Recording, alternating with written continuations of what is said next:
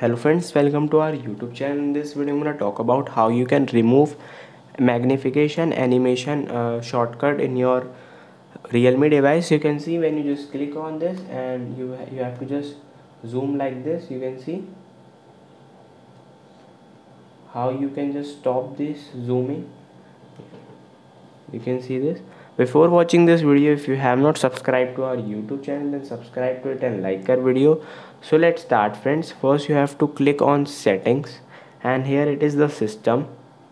Or you can go to accessibility also if there uh, there is no setting click on accessibility. Swipe down here it is magnification. You have to simply turn it off like this. I hope you like this video. If you like this video then subscribe to our youtube channel for more helpful tips and tricks videos. See you next time